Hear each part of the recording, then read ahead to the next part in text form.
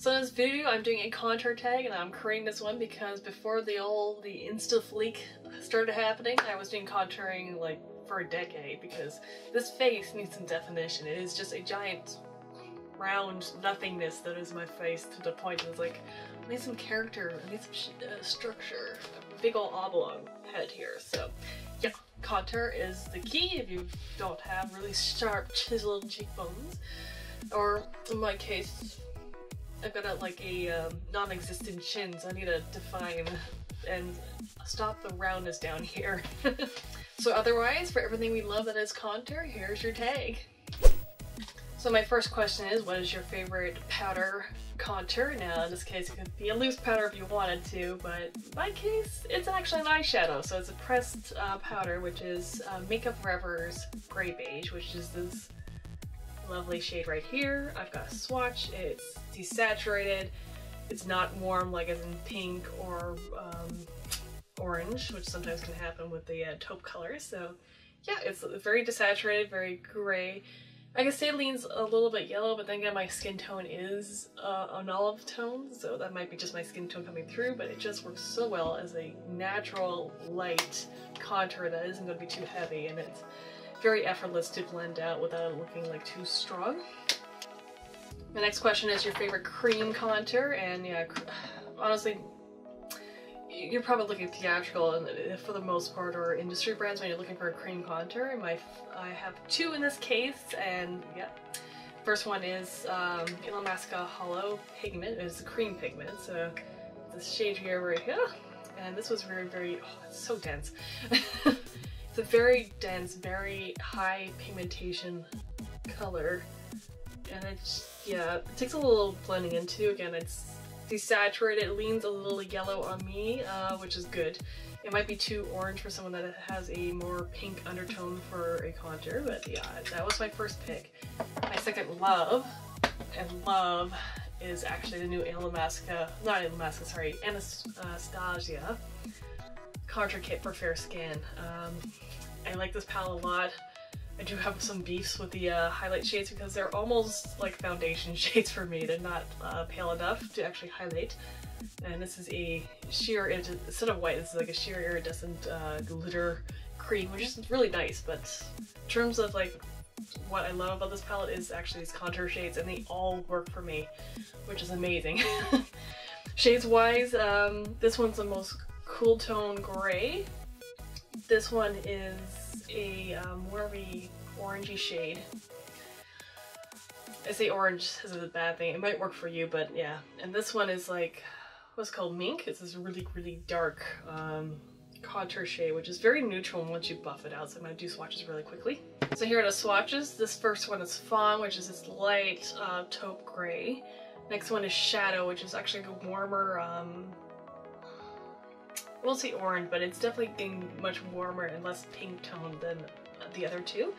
And then there's this neutral deep shadow called Mink for the face. And again, the pigmentation's really on par with the Illamasqua, but price point, this was like $40 for this little one, and the palette, this palette's like around 50 so yeah, you're getting a lot of bang for your buck in terms of like how much product you actually get in these, so yeah, those are my picks for the favorite cream formula. The next question is best warm contour. Now this could even be a bronzer if you're um, warm enough in terms of like pigmentation, but for me, it's actually one of the first products I ever bought for highlighting contouring intentionally, and that is the Makeup Forever Sculpt Kit, and this is number, um, I'm taken out of the packaging, but this is number four. The shade is very warm on me, but it's still neutral enough that it didn't, um, didn't turn me kind of oompa loopy or look too bad. Uh, again, it's very, very concentrated, so it does read warm when you pile it on like this, but when I shear it out with a stippling brush and just uh, layer it lightly, it did work very well. And also another trick I picked up is I took the highlighter shade and actually went over the contour again, and that just cooled down the, the, um, the look on my skin. So this is what I've been using for years. That's my trick to make it a little more wearable for me, but yeah, that's still my favorite warm contour. Now my best cool contour is coming from an unusual source because I'm so fair. Um, Kat Von D has a beautiful formula, but unfortunately their her Shade Light palette face palette doesn't work for me. All the shades are too dark and too warm for me. But the shade Light Eye has a shade that I love to use as a contour, and that is Lazarus, which is this middle shade. Again, it's very cool. It's similar to that gray beige shade from Makeup Forever, but yeah, this one, it reads just a little bit cooler on my skin tone, so I'm actually to swatch it on my other hand. So like you can see here, Lazarus is this slightly rosy tone. Once you put it on the skin, it looks much cooler and much grayer on the pan than it does on, but it reads so nicely. And usually if I'm using this palette for the eyes, I will just bust in my brush and use this shade anyways from my face as well instead of grabbing something new. So my next question is, what is your most natural contour. Now that could be natural color or natural finish. My pick is actually Dim Light from Hourglass. Again, it's part of this palette. This is just, if you want to like, I don't know, we want to contour without being absolutely noticeable at all. This is uh, soft enough that I can get away with just piling it on. Not that I want to kick it up, but it's just gives my skin a little bit of extra dimension without actually contouring in the harsh way. So yeah, again, just warms up the perimeter and it looks warmer on my skin because again, I have an olive skin tone, so it's just deepening whatever we have instead of like adding more color to my skin. So that's the reason why I like dim light. So my next question is favorite formula for a contour and this is actually my newest product I bought but I am loving the formula of this color. It's workable but it's definitely my favorite formula. This is a very effortlessly sheer cream pigment. So unlike the um, Illamasqua and Anastasia ones, this one looks really, really um, dense in pigmentation, but it's a little more emollient, so apply it, it's that big, but if I start to buff it out along the edges, and you don't even need that much product, so it ends up having this skin-like texture where it doesn't impart too much color, and in my case it actually cools down when I buff it out compared to what it looks like in the pan. So definitely my most favorite formula, texture-wise, really good. They do come in um, four, four shades total, sorry. So three different shades in this uh, light 21. But yeah, that's my favorite formula so far. Now for my seventh question is the best luxury, and this one I've got in a smaller version, but it's actually the Kevyn Aucoin um, Sculpt Powder. the shade is so good. I should have just bought the shade though instead of this entire packaging. because all I really am using out of this is really this uh, contour shade. It's this perfect taupe of um, grayness that isn't doesn't read too warm or too cold tone. It'll work on almost every skin tone. Like, it does read a little yellow on me, but then again, I have yellow skin, so it makes sense. But it just ends up, yeah, it's just really nice. It ends up getting dimension, a little bit of warmth to my skin without it going orange, which is what I'm looking for in a contour. So that's definitely my best pick for high-end uh, contour product. So my next question is Beck's Drugstore Contour, and I've got two. One's actually a contour, and I'm to start with that, and it's the um, NYX Taupe uh, Blush. Now this one isn't quite like the original. I know that they've reformulated and the color is a little different, but for me, this is kind of the shade I was hoping for it just, it works really well. It is a little bit powdery and um, for the most part it blends really well on the skin. I know that some people, if they have really extreme dry patches, it might catch, but overall just buffing it out and any sort of powderiness will work its way into the founda uh, your foundation or skin really nicely. My next pick is, I knew as soon as I saw it that I had to try it as a contour, even though it's not a contour product, but an eyeshadow. It's um, L'Oreal's Color Riche eyeshadow in Cafe au Lait and it's this taupe that is slightly on the cooler pink tone. So the formula is really, really smooth actually. I really appreciate this formula. I know it, some people have issues with it blending and I, I can understand, but I do more of a pat and then blend motion with my products. So this case is very, very creamy and buttery on the skin. A little bit of buffing motion and it actually acts much more like the Illamasqua cream powders but it does buff out beautifully into this like dewy, translucent awesomeness that's going on there.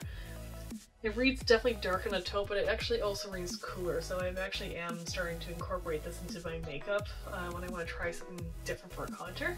So my next question is favorite contour brand. In this case, it may not be my current favorite, but definitely one I would recommend anyone, just because there's selection options. There's formula options. It's Makeup Forever, of course. And again, I have eyeshadows, I have cream contour, which is relatively new, and they have the original Pro uh, Sculpt kits that come with two colors. So each kit comes with a contour and highlight. They're both matte. They're just good. Like overall, Makeup Forever has been doing the contour game a lot more consistently than any other brand currently. It's just the trend is starting to pick up, so we have more options on the market. But yeah, Makeup Forever, hands down, my favorite brand for contour, period. now, the next question is favorite packaging, and I'm going to have to give it to Anastasia again because they have magnetic refillable pans. You can refill this palette. Um, again, it's magnetic, and most magnetic palettes I have from like other brands, you have to poke it from the back, but they do have this well here. Now it's a little hard to get out with just your finger, but a pin will do it just quite nicely. So just pop it up like that, and yep, ready to refill and to go. It's also all plastic, which is a bonus because you want to clean this up. Um, again, I can already see fingerprints on here, but it's, yeah, thankfully they did redo the packaging, so originally it was cardboard, but for cream products, you want to be able to clean this up and make it look presentable every once in a while. But yeah, that's definitely the nicest packaging. It's magnetic closure, the um, lid window's not too thick or heavy, so most of the product weight is just in the bottom tray with the pans, and each well has its own magnetic um, stamp or like a, a magnet about the same size as the well itself. So just really good packaging overall. So thank you, Anastasia. so my next question is your most used contour. Now I'm gonna have to give it to a different one than uh, the Makeup Forever Sculpt one. I love that one, but this one I used a lot more, and it's actually a uh, eBay. it's actually an eBay product, and it was put on eBay after the uh, product line discontinued all their makeup, so it's really inexpensive. And the line's called Mother's Home, and or Mother Home, I should say, Mother's. and it smells like baby powder. I'm not gonna lie, it's not not probably the most refined um, product wise, but the shades in here were so good. Like they did, they did good justice for me for many years, and it actually had little goes a long way. So some of the pat like this is a pretty um, steep sort of embossing on it, so I've just barely kind of worn it out. And the two shades in here is this darker gray taupe and this lighter, more yellow taupe. Now the yellow taupe was definitely a little more um, workable for me in terms of like texture. Yeah, the gray, the deeper gray taupe is a little bit chalky. I had problems with it. It works fine on the skin, but I had problems when I had um, pilaris, which is like the chicken chicken skin. You look it up. You look up chicken skin, that's usually the easiest way to find it. But basically, I have like um, not a rash, but like uh, textured bumps along my chin during the wintertime, and yeah, these powder, this powder in particular would catch on it. But it definitely was my go-to powder product after buying the Makeup Forever uh, Sculpt, like the original Sculpt powder. That was the one I used for years, and then I got this one. I was using it for like consistently for years, just because the colors worked so well at the time. The next question is your least used, and it's actually another drugstore product from the UK, which is the Sleek Face Form. Now I've got this one light, sorry, I'm gonna hold this. This is light form. They do have a fair one, which I really should buy because I really do like the texture of this formula. It's just this reads very orangey on my skin, even though I try to share it out and work with it, and I tried to convince myself I liked it. It was still just a little too orange, so I stopped using it pretty quickly after reviewing it. So as you can see, it's definitely orange. It's not... you can shear it out. It does give you kind of a nice bronze look to your skin, but for me, it's, yeah. I had to really shear it out to get a, you know, something a little more decent for my skin tone. It doesn't look bad, it just looks orange, and I'm not about that Oompa life. So my next question is your most unusual contour. Now again, I'm going to give it out to every single eyeshadow I've been using as a contour product. So again, Makeup Forever Gray Beige, which is this lovely shade of light, natural kind of looking contour. Um, the L'Oreal Cafe Au Lait eyeshadow, or model eyeshadow. And lastly, because I have two of them from her, and it's actually the Kat Von D palette, so let me just get them together. So again, Lazarus is this um, middle shade here, But also this taupe shade in the Marnik palette, which I think is called Vanish? Yeah, I think it's called Vanish, this one here. It's a little bit on the warmer side, but they both work really well as actually a contour on my face. But in comparison, I would just do a quick swatch of both. So again, this is Lazarus, which is like a slightly cooler tone, and this is Vanish, which is slightly warmer tone uh, taupe. So it's still workable. I still prefer Lazarus just because it's a little bit less saturated, so it looks natural on my skin. Next up is your worst contour. What shade did not work on you or you just don't like the texture of? For me, I actually do like this palette, but these two shades here on the uh, Pro um, Pro Highlight and Contour palette, and I, I'll link what the colors are exactly because they do have a name, but it's the first two shades. And they just read way too warm. Same with the Kat Von D shade Light uh, palette, the original one. But again, yeah, like that, that middle one, it's just downright orange on my skin tone, and this one is starting to get like camely kind of brown, so in comparison that are those two shades in the bottom there. They just don't work for me. It's rather unfortunate. so my second last question is, if you had to pick only one, what is your best contour shade out of everything you've tried? And mine, I love all of them for different reasons. Personally, I would just like to see Kat Von D actually make this as a permanent one, like in a larger like contour kit size.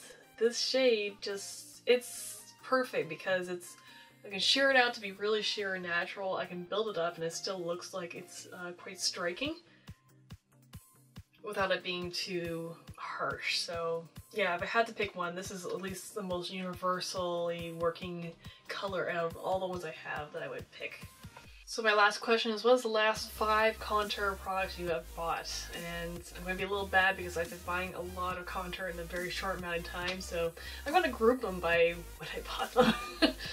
so the very last one I bought was the uh, Cont uh, Contour Pro Sculpting Contour Palette from Makeup Forever. Um, yeah, this was just like, okay, let's try this because I was on the fence about it and hearing more reviews and I finally got it and I don't regret purchasing it, seeing it now. Uh, the second last one I bought was the Anastasia, so I've had a little more time to work with it, but mm, it's really nice, I'm not gonna lie. So the third item I bought recently was the NYX Taupe Brush, but I had actually bought this like about six months or prior just to see if the any of the shades matched this, and they didn't, so technically NYX will be my third last purchase, just to make sure that everything was cohesive when I was doing reviews. the fourth one I've bought, these two at the exact same time, so I'm counting as number four, are these face palettes from Maybelline and L'Oreal, just to see how they match up with um, other higher end, easier to access stuff they're okay. I, I like them. I just don't think they're the best ones I have. And the last one I bought in January, so this is kind of like the spread of how many I have face powder contour things I've been buying lately. And it's the Mono eyeshadow from uh, L'Oreal and Cafe Lait, and so good too. It's like cream to powder, like think Colourpop. It's got a very similar texture working for it there. So that wraps up the contour tag. Again, I'm going to take everyone to do this. Um, we're all about that shaping and chiseling our features, so why not share what you love? And I'm going to take again uh, Cora and Dustin just because they did the first two tags, which again, if you want to watch my highlighter and blush tags, it will be here somewhere as I'm pointing in the corner here. We'll try. Anyways. So I hope you give this video a thumbs up if you liked it and comment down below if you liked any of the products or if you didn't like some of the products. I'd love to hear people's feedback. My skin is uh, dry and fair and yeah not every shade's gonna work on everyone and not every texture is gonna work on everyone either so yeah and I hope to see you all again soon bye